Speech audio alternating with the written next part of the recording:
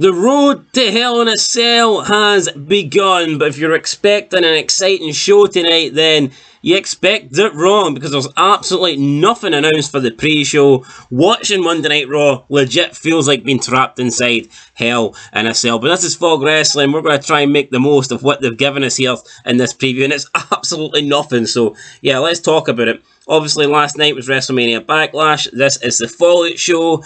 We're on the build. We're on the way to the next pay-per-view, which is Hell in a Cell.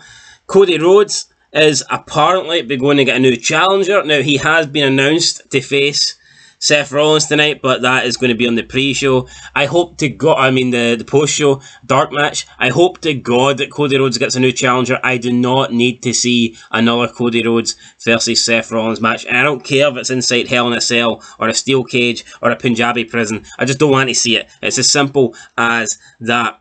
Judgment Day last night, Edge picked up a win over AJ Styles. He added a new member. Rhea Ripley is now part of Judgment Day, and WWE say that the, the, the storyline is expected to continue because obviously they're going to introduce Rhea Ripley to the faction.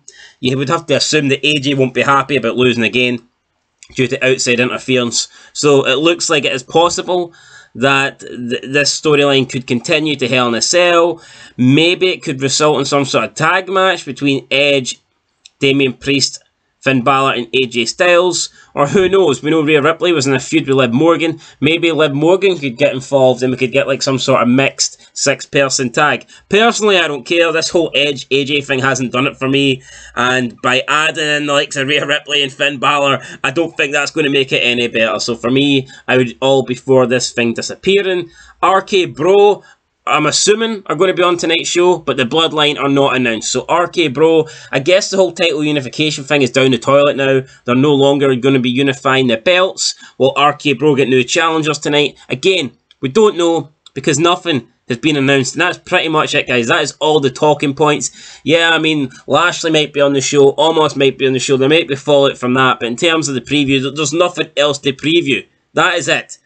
Cody Rhodes potentially getting a new challenger. I guess the whole Kevin Owens thing will be continuing. Will Sonya Deville still be feuding with Bianca Belair? Will Becky Lynch still be feuding with um, Asuka? Even, I don't know if you call those rivalries, right? Everything happening on Raw at the moment isn't great. People are saying this is the best show on a weekly basis now. I don't think it is. I mean, this preview has not got me excited. So we'll see. We'll tune into Raw tonight. We'll see what happens. But personally, Uh, it doesn't look that good, guys. I'm being honest. No matches announced, no nothing announced, and pretty much we have to guess what's going to happen. And I'm going to guess the show's going to absolutely suck. So there you go, that's your preview. We'll see what happens in the, the review tonight. Till then, though, make sure you like, subscribe, comment down below. Catch you in the next video. But until then, peace.